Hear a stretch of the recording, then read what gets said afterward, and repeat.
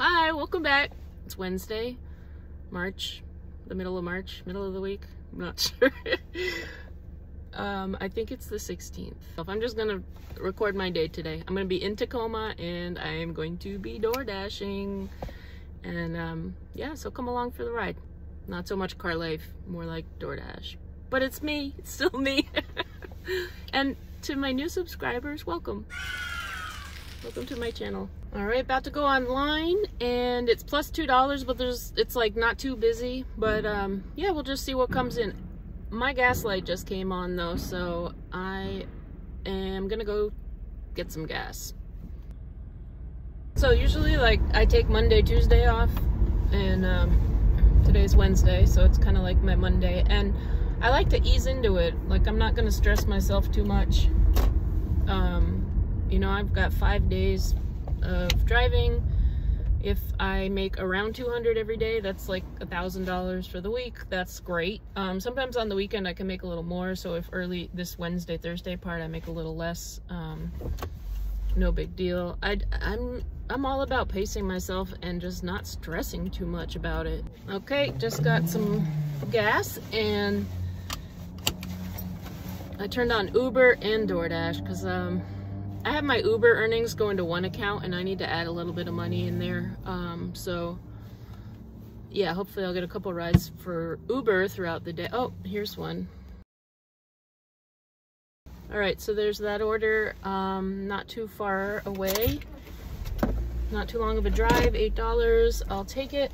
And I paused my DoorDash because I don't like to try to it, it, once in a while it happens where they overlap or I'll forget to turn off one and if it looks like it's the same area I'll accept them and do both. But like I said I'm not trying to stress myself out with having multiple deliveries.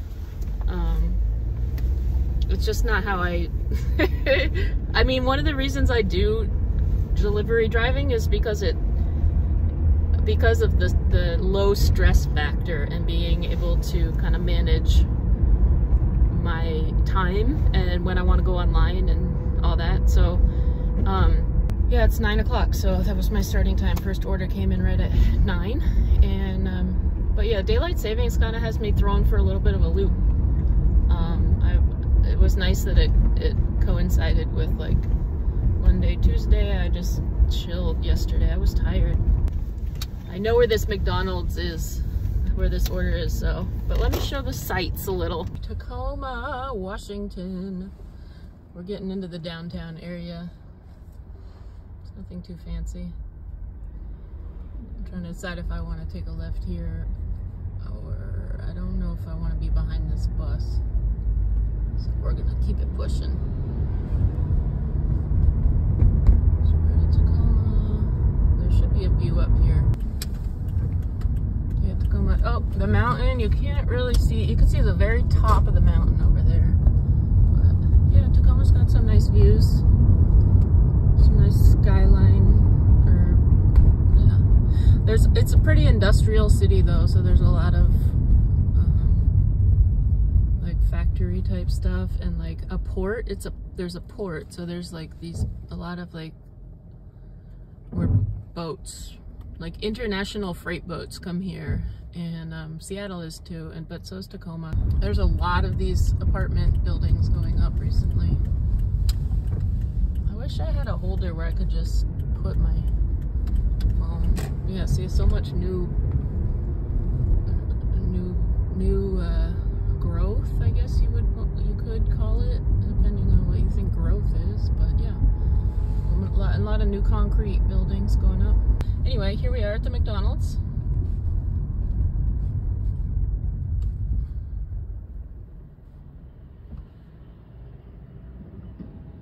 Now, I could go in the lobby, but this, this uh, McDonald's is always pretty quick and there isn't really much of a line and I actually like not having to get out of the car. Like, I could have gone in that one too, but I'm not stressing it. Remember? No stress. I went to the wrong McDonald's. This is why I don't usually record my delivery driving because when it's time to make money, I just like to bust it out and make money. And I guess I could go this way. So now I'm in a little bit more of a rush. I know where it is. If I had just looked at the map, I just assumed because of the distance from where I was, which one it was, but it's a different one. Oh boy. so yeah, that's a mistake on my part. I'm just gonna hurry up and try to get to this next McDonald's.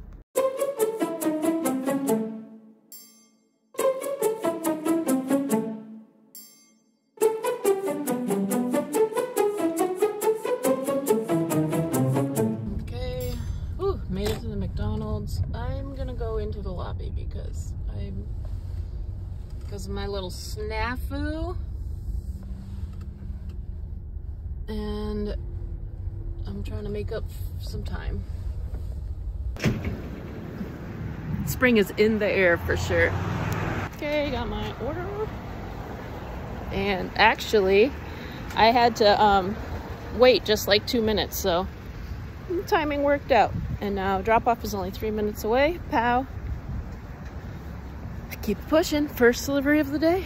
So what I will do, even though I don't like to have both apps on, on the same time, I'm one minute away from my drop off for the Uber, the, the McDonald's order that I just got. So I'm gonna turn my DoorDash back on, so, um, because I'm about to drop that one off and I just wanna, you know, keep open to accepting at all times. So I was only like a couple seconds before I got a DoorDash delivery for Original House of Pancakes. Um, it's got a really high mileage drive ratio and I'm taking it. So I first gotta drop off this Uber one.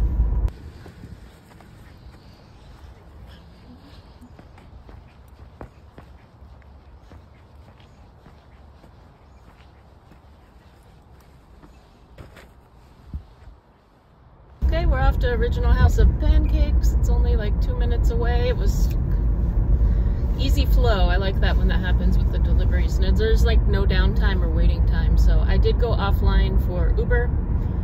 Now, I imagine, well, it depends how busy DoorDash is, but usually it's like, then I'll just be on DoorDash for a while. But if it slows down, I'll turn the Uber back on again. So let's see. Off to my second pickup of the day.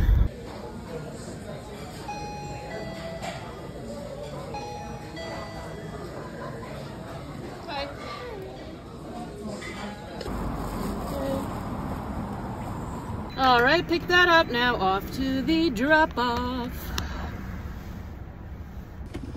All right, so I do love DoorDash and I'm really not trying to say anything negative because, oh, here we go. No, see, now they're trying to do this to me again. I'll show you this order. I keep, I keep declining it. So I'm actually gonna pause my dash. And what's crazy is they count those even though it'd be one pickup and it was like one thing that came into my phone, they counted as like me canceling 10 orders. So I was actually at 90% and it went down to 80%. But whatever. it's that's still plenty high. But yeah, DoorDash, mm -mm. no, because if you think about it, A, I don't necessarily have room for 10 meals in my car like I might be able to and if it was like I've done ones before that were like four and on Thanksgiving it was really fun because I did a bunch of Thanksgiving dinners. But I live part-time in my car I don't have that set up so that's why I keep the front seat totally open and I do have room in my trunk and I have um, the seat behind me is open but I'm just you know, all that frozen chicken, raw chicken and stuff. I, I don't want it. Um, and I feel a little bit suckered into it because they gave me the same order twice. The first time they were going to give me $23 for it and they said deliver by 11.58 and it's like 9.30 something now. So that's two hours for $23. I was like, no. And then they kicked it back again and added more. And they're like, well, how about $37 for two hours? And I'm like, no, I don't want that. And it was like 10. And I'm thinking, I don't, even though that's a little better, like in terms of the money, that'd be like $15 an hour. It's a little better. I still, I still declined it. But what got me is when I went in the first time and declined it, it was like, now you're at 90%. When I went in the, it would be like, you're going to go from 90 to 80% for that one saying no to one offer. That's kind of lame. But I do love DoorDash. I'm not trying to, you know, I just feel like sometimes it gets, it's got its days, it's got its times. So I'm going away from that area because I don't want that to keep happening. Um, I'm going to a new spot. I turned Uber back on and yeah, I'm a little frustrated. Um, but it is what it is. Let's keep it pushing and get to a different zone, different area. So I got an Uber request. It's one order from the original Pancake House. It says it says it's going to take 57 minutes. Um, what I've noticed about Uber is that they overestimate. It's about 9.57 now. It just came in like two minutes ago. My hope is that I'll be able to finish it in like 40 minutes and then tack on another another delivery. Maybe try DoorDash again after that. But yeah, here we This is what it is. Bit by bit, it adds up. Okay, so I have this new charger that's an audio cord, and I realized it doesn't record sound when it's plugged in. But here I am getting that same food bank delivery order, only this time it's a lot bigger. And put my glasses on to examine it and look at it. And I didn't want to decline it because it would have brought my ratings way down. Um, so I decided to accept it and commit to that the 10 deliveries and hope that there was room for all of those boxes in my car. I think here I'm saying something like, I can do it. And here I'm talking about, I did it. I got all the deliveries boxes. So there's like three boxes for each order. Well, two vegetables and there's some frozen meat that go in one of the boxes, and then there's like the dry goods. So a total of 20 boxes, and somewhere in the trunk, some in the seat behind me, and then some in the passenger seat. So then it's just the process of dropping them all off. All right, I'm at the place. Time to start unloading. Um, it's a big apartment complex, so I'm kind of hoping that all the drop-offs are in these apartments. Like there's, I'm at apartment 417, so I know there's a lot of apartments. and that would be kind of easy if I just have to go, but some of them are on the third floor. So anyway, I need to get started. This is my workout for the day too. The cool thing with these orders, like packing them up like this, is that um, it's like the car is stuffed and it's such a good feeling. It's like decluttering or I don't know, cleaning out my closet or something to go through them and drop them off. It's like the car gets like less and less cluttered with each drop off. So it makes like dropping them off really fun actually. And it's like 750, 750, 750. It's only 12 o'clock and I doubt it's gonna take me, well, let me not speak too soon, but I don't think it's gonna take me two and a half hours to finish dropping these off. I'm feeling hopeful. And then it's gonna be time for some food, some lunch somewhere. It's gonna bring me to a different town too, so I'll probably have to end my dash anyway. But good time for a food break. Okay, I knew I had spoke too soon because now that next drop off, this next one, the third at three out of 10, it says it's 14 minutes away. So for 77, even if I can get it done in three hours, that's cool. That's still 25 bucks an hour. And this is kind of fun. It kind of breaks up the like restaurant deliveries. And um, yeah, so on to number three. Okay, so this is definitely a little more involved than I thought. I'm halfway through, it's 109. Four more to go. The next drop off is um, 19 minutes away. So I have the four boxes up here, little at a time. One step at a time, baby. One step at a time. I guess right now the step is fixing my hair. All right, here we go. Down to the last one. And it's, it says it's nine minutes away and it's 151. I do know that it's time to bust open my tea. I can't believe these are still 99 cents. That's awesome. That's what I remember them for. Okay.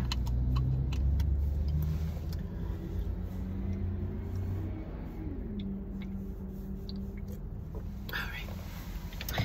That's tasty. I ended up finishing those DoorDash drop-offs at 2:01, so I drove pretty much exactly 5 hours. I had my Uber deliveries and I did another um, DoorDash before, so my total was 112.29 divided by 5 came out to about 22 per hour, and that's not too bad. All right, I got this club, turkey club on gluten-free bread. I'm pretty excited. It's nice.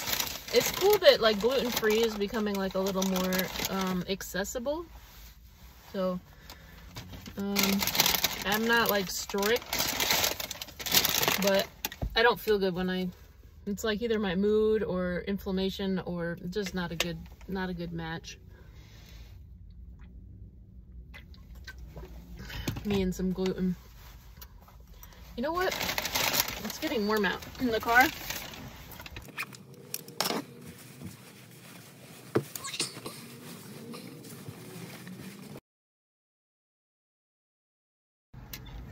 Okay, now I'm situated. Oh yeah. Mm, look at look at all that cheese, turkey, all this stuff, and some bacon on there.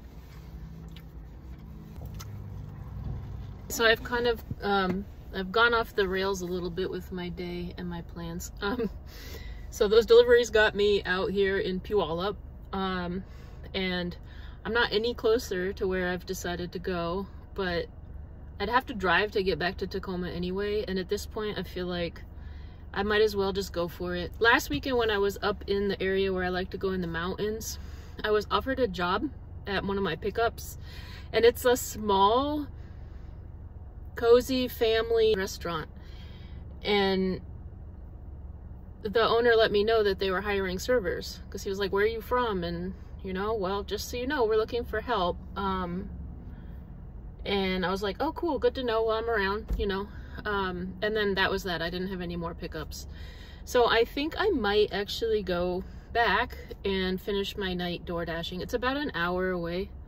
And um, I might spend the night up there or I might come back to Tacoma after. You know, I'll be up there around 4, check in with the restaurant, and then I can DoorDash for like another five hours up there and maybe hopefully make like another 100 and that'll be my 200. I'm sure I can make another 50 and so I'll be at my amount, my minimum that I like to make. Um, but I've been thinking about it for the past few days because I'm like, do I actually, I love that I have like this time and this freedom to kind of go wherever. I mean, if I get the travel bug, I've been thinking about wanting to like check out Santa Cruz. Um, I don't know. However, I know that um, serving, you can make a lot of money and it'd be like weekend dinners and it's kind of like, I was looking at their menu and stuff's like, you know, $20 an entree and, and up. It looked pretty crowded both times I was in there. It's been crowded, so I imagine that the pay, you know, it, I don't know. Gonna go ask some questions. so that's where I'm headed now. It's 301. I had my sandwich. I man, I... I'm really gonna have to like be a little better about budgeting the food that I spend out. I just go, I go back and forth. Some days I'm great. Like, I did make coffee at home this morning and I didn't have a coffee drink. And so I was like, well, I'll have my fancy coffee. It's an espresso milkshake. has four shots of espresso in it. which I'm gonna sip on while I drive through the mountains. But yeah, I um, am so hesitant to like, but I think I'm just gonna go ask some questions, feel it out a little bit more. And also be like, look, I might like need to take off after three months. It's almost like a seasonal job. I think it'll, what it is what it can be. So instead of like a seasonal job at like a national park, I'll, I'm like creating my own seasonal job. I also think it would be a good connection to make, and I also think it'd be good to get some surveyor experience on my resume in case like down the road I want to, you know, it's good money serving, so let's go check it out. I'm back in the mountains and I think what it is is that I just can't get enough of this mountain air. I really love it up here. It just instantly lifts my mood and my like excitement for life level. And I think it's the mountain air. I think it's like seeing the mountains and the snow. I think there's like I think that the people that live out here love being this close to like nature. Just less congested than in a city. And so it's like a different pace of life and that's kind of refreshing. And um, I also just think for like this chapter in my life, um, just to kind of, I have the freedom to kind of go with my, my, where I feel drawn to. Um, and so I'm gonna go check out this restaurant. I'm back in the mountains. It's cool that this area is becoming familiar to me like a little bit. I'm beginning to know my way around. Um, but I feel like there's so much to explore, like driving wise, and that makes it a little easier, like for deliveries. But I feel like there's a lot of nature to explore, so that's exciting. So I spoke with the restaurant owner, and I will be starting two days a week and working through the busy season, which is like the summer. It's kind of exciting. I'm honestly a little anxious, but I'm also pretty excited to um, begin kind of this transition time of my life. And I think I'll be able to make some good money. Add to the DoorDash, it feels like a really good next step. So even though I'm so hesitant to take on any kind of commitment right now, if there's gonna be one, it's gonna be a one that pays well because my goal is to start saving some money. Anyway, thank you for watching and following along on this unfolding journey. I really appreciate each and every one of you.